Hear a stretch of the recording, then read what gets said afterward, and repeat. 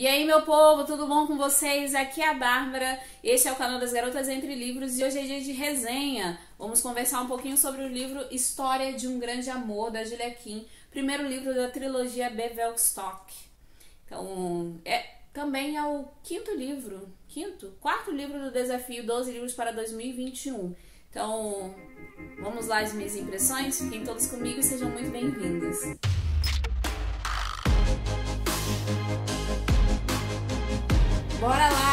Vamos falar um pouco sobre o livro. Primeiro, algumas informações técnicas sobre ele. Ele é da Julia Kim, como eu já disse.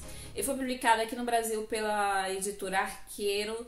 No ano de 2020, ele tem 228, 288 páginas. Ele tá ali no gênero romance de época e eu classifiquei ele com três estrelas. Eu vou explicar os motivos em breve, daqui a pouquinho, mas antes um resumo sobre a história. Qual é a história desse livro, de História de um Grande Amor? Aqui a gente vai encontrar a Lady Miranda. Logo lá no prólogo a gente vai encontrar a Miranda na festa de aniversário da melhor amiga dela, que é a Olivia. Elas duas têm a mesma idade, 9 anos.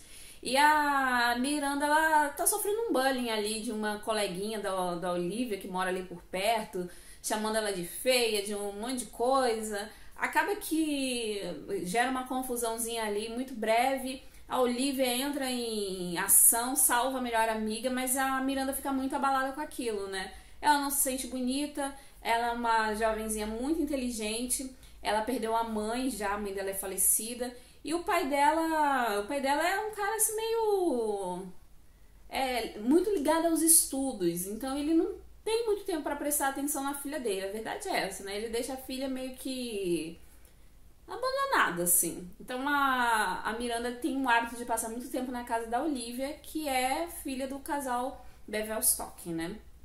É uma Bevelstock.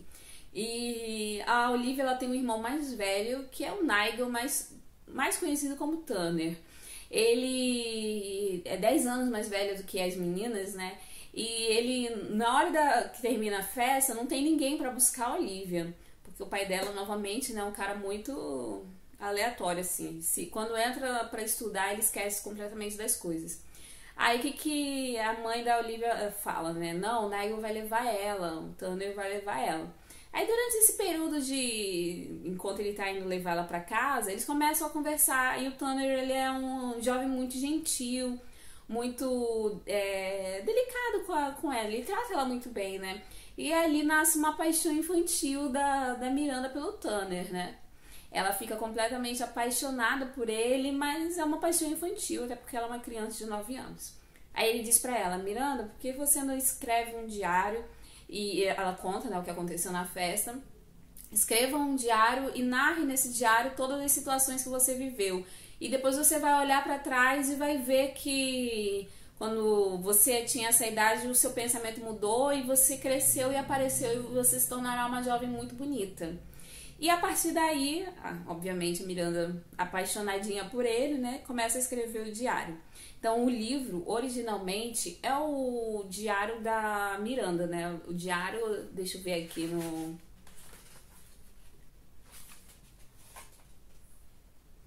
The Secret Diaries of Miranda Shiver, que é o nome dela, né? Ela se chama Miranda Shiver. Então, o diário secreto da, de Miranda Shiver. Então, que aqui acabou se tornando História de um Grande Amor, na tradução em português. Então ali a Miranda vai relatar ao longo dos anos tudo que ela foi acontecendo de importante com ela. E principalmente toda vez que ela via o Tanner. Beleza, isso é só o prólogo. No primeiro capítulo do livro, anos se passaram, Miranda já é uma jovem, pré, é, assim, na idade perfeita para se casar.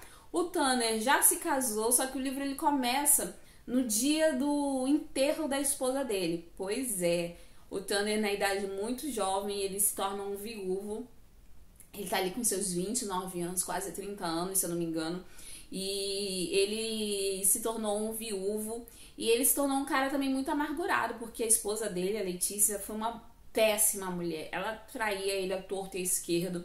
Eles tinham um casamento de fachada bem daqueles que a gente é, conhece em romances de época, né?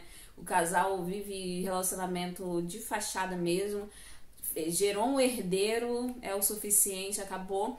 E o Tanner, ele entrou nesse casamento muito iludido, ele estava assim, realmente apaixonado pela esposa dele e acabou quebrando a cara. Isso transforma ele num homem muito cínico, que depois que acabou o casamento, né, ele se tornou um viúvo, ele não acredita mais no amor e nem na possibilidade de um novo casamento. Então ele tá ali, quer viver a vida de solteiro, ele não quer mais se comprometer com ninguém porque ele acha isso uma perca de tempo. Ele não teve herdeiros e como ele tem um irmão mais novo, ele fala assim, ó, é responsabilidade do meu irmão gerar um herdeiro para essa família. Graças a Deus eu tenho irmão e não vou precisar me preocupar com isso. E é bem isso que acontece, ele vai seguir a vida dele, né? E daí, Bárbara, e agora como é que vai juntar esses dois nessa situação atual, né? Pois é, a Miranda, como eu disse para vocês, ela tá na idade de se casar, né? Então ela vai junto com a Olivia viver a primeira temporada dela em Londres, tentar arrumar um marido e provavelmente irá se casar. Aí, mas já rola ali uma.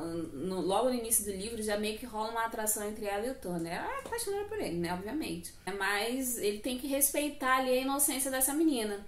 Aí o que acontece? Eles vão todos para Londres e a mãe do Tanner obriga que ele vá para apoiar as duas, né? A Olivia e a Miranda, porque ele, elas tendo o apoio dele, elas iriam brilhar mais, né? Porque ele era o herdeiro da família, então ele é um nome de peso, né? Então o apoio dele era basicamente fazer o quê? Dançar com elas nas festas. Aparecer, dar o ar da graça e dançar com as meninas na festa, nas festas. A Olivia, ela não precisa de tanto incentivo assim, não. Mas a Miranda, ela realmente precisava de um incentivo para conseguir um marido, né? Mal sabia a mãe da, do Tanner que, na verdade, oh, em breve, talvez, Miranda se tornasse na hora dela, né? Enfim, aí o que acontece, gente? Ali, quanto mais, eles, quanto mais tempo eles vão conviver, mais a atração entre eles vai ser forte, né? E vai ficar naquela coisa assim, como é que eu vou resistir a essa mulher? Como é que eu vou resistir a essa mulher? E é uma confusão danada, bem daquele jeito que a gente encontra nos romances de época, e é bem por aí. E não vou contar mais porque eu já spoilei mais do que deveria, enfim, vocês lendo para só vocês lendo mesmo para saber o que acontece. Vamos para a parte importante que é a parte da minha opinião. O que eu achei desse livro? Eu achei ele muito mediano, gente. Muito mediano mesmo. Ele me decepcionou, me decepcionou, me decepcionou. Porque eu tava tão animada com essa história. Eu pensei que, meu Deus, agora eu vou achar mais um livro da Julia Kim para brilhar. Mas não foi bem assim. Eu achei o livro bem mais do mesmo. Ah, por isso a classificação, primeiro, três estrelas, né? Então ele é bom, mas não é tão bom assim. Ele é um bom, é um livro bom, é um romance de época bom, já li coisas bem piores, mas esse não, esse daqui é um livro bom. Só que os personagens não me cativaram. Primeiro que o Tanner, ele é, 90% do tempo ele é um babaca. Ele trata a Miranda muito mal. Ele tem um jeito, tá, ah, é aquela desculpa, né? Ele tá amargurado, não sei o quê. Naquela época não existia terapia, mas pelo amor de Deus, né? Eu acho que já não, não cabe mais esse tipo de personagem a desculpa é sempre a mesma, o clichê é sempre o mesmo. O cara foi magoado, por isso ele não acredita mais no amor e ponto, acabou.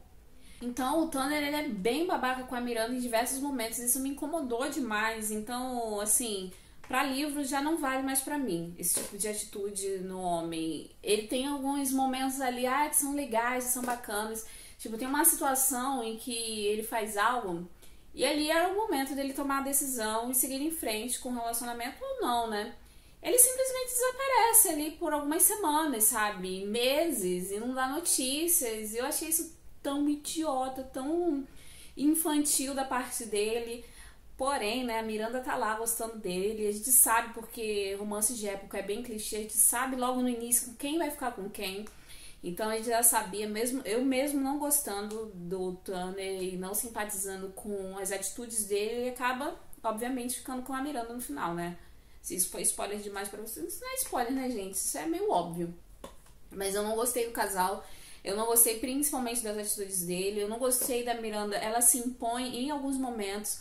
Tem um momento ali em que a Miranda fala para ele, ela não quer viver um relacionamento com ele, assim, um relacionamento, né, dentro dos possíveis, só de, ah, eu gosto de você. Ela quer mais do que isso. Então ela meio que força ele a tomar uma decisão. A gente vai ou você vai ficar comigo porque você me ama, ou é melhor cada um seguir o seu caminho.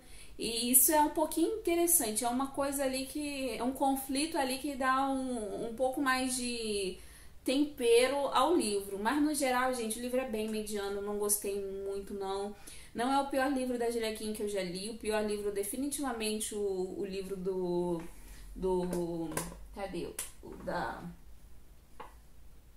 O Conde Enfeitiçado que é um dos livros da série dos Bridgerton. Esse daí definitivamente eu não vou reler, porque eu achei bem ruizinho. Parecia que uma pessoa tinha abduzido o corpo da Julie escrito, porque esse livro é bem fraco mesmo.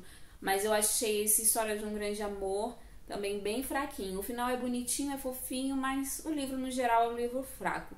Ele tá aí recebendo três estrelas. Fica a minha indicação caso você queira começar essa nova série dela, nessa trilogia. Todos os três livros já foram publicados, inclusive eu tenho todos os três livros. Eu vou dar continuidade. Eu espero que o livro da Olivia seja melhor e que o último livro também seja. Veremos e eu vou contar tudo para vocês. Mas não lerei tão cedo. Eles estão aqui na estante, talvez só ano que vem eu coloque algum deles no desafio dos 12 livros para 2022. Não sei, vamos ver como é que vão ficar as coisas. É isso por hoje. Eu espero que essa resenha tenha te ajudado, caso você goste de romance de época, que ela tenha te ajudado aí a decidir se vai ler ou não o livro. Mas fica aqui a minha indicação. Eu vou deixar o link da resenha, ela vai sair simultaneamente aqui lá no blog, caso alguém queira ler a resenha, que lá provavelmente vai estar um pouco mais sucinta, a minha opinião, com certeza vai estar bem mais sucinta e sem spoilers. E então você pode ir lá e conferir. Caso te interesse comprar o livro, compra pelo link que você vai estar ajudando o canal a crescer, certo, galera? Não esquece de se inscrever clicando no botãozinho vermelho e no sininho para ativar as notificações. Em breve, muito em breve, eu tô de volta e eu aguardo todos vocês. Tchau, tchau!